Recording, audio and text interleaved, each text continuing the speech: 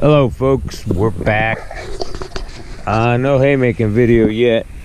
Uh, we've been extremely dry. It's been seven, uh, going on eight weeks now, no rain. Uh, we had some here a couple days ago.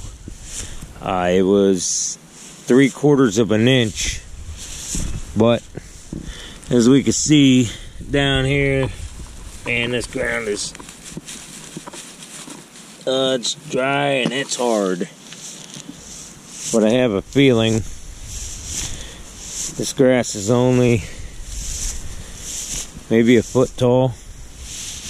Um, down there over this little knoll, that's where we put the uh, drain tile in last year or the year before, I don't remember, but that stuff is super thick and super tall.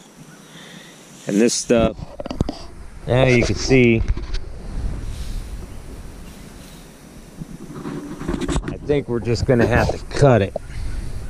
Uh, we're getting rain Sunday and Monday, but with this being a pure stand orchard, I don't think it's gonna get any taller with the stress that's been put through.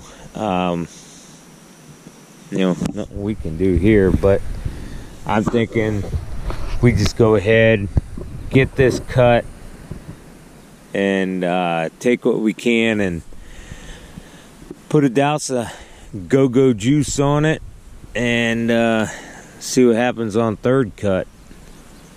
But uh, yeah, I mean we'll get something out. It ain't like we're gonna cut and get nothing, but nothing like I was expecting to get, but then aren't we all expecting to get more than what we get? So, yeah, I think uh, we'll give this a shot. This is the 20 acre field. I don't know if you can see, but there's a marker right over there. That's the property line, and over where that hilltop is, there's 10 acres over there. So, uh, yeah, I think we'll. Uh, give her a shot. I'm thinking Tuesday cut it. And since it's all just leaves, you know, I think uh, it'll dry fairly quick, that's for sure. That's the thing with orchard grass and a lot of these on their second, third cuttings, it just all leaves and no stem. But I am surprised I guess the only thing I'm surprised about is, you know, how clean this field is. For being dry, usually you get a dry spell and you get a lot of weeds popping up and looks pretty bad, but I only see one weed and I'll show you what I'm talking about. It's up here in the beginning. Uh, now this stuff up here is maybe to the top of my boot. Not that tall, but I don't expect a whole lot here on the headlands. But now I'm wrong. I see two. My bad. All right, here's one. Oh yeah, curly dock. And I see I got one right out in that direction over there. So I think while I'm here, I'm going to pluck them off. But other than that, I don't see anything out there. Of course, I can't see, of course, way out there on the hill, but if there'd be any weeds, they'd be here. But anyhow, I figured I'd get on here and let you know, you know, what we're doing. I mean, you could tell how dry the ground is by these cracks in the ground.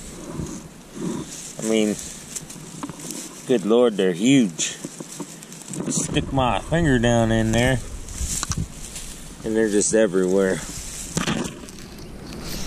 So, I mean, we did get that little bit of rain, but whew, it soaked it up quick. But yeah, uh, I know last video I said I'd get you another video when we're making hay, but just hasn't come yet. So I'm hoping here in about four or five days we'll get started on this. This will be the only field that's ready. Uh, hay sales have been going like crazy. We had to kind of put a stop to it just because we didn't know what second cut was going to do with the dry spell we had. So we have our regular customers we have to take care of, so we have to make sure we got enough for them. But I'm going to guess know, 30 acres. I'm going to guess 1,800 bale out here on second. Not what I was expecting, but this time of year you can take whatever you can get. So I'll uh, get another video with you guys here after we uh, get this field made.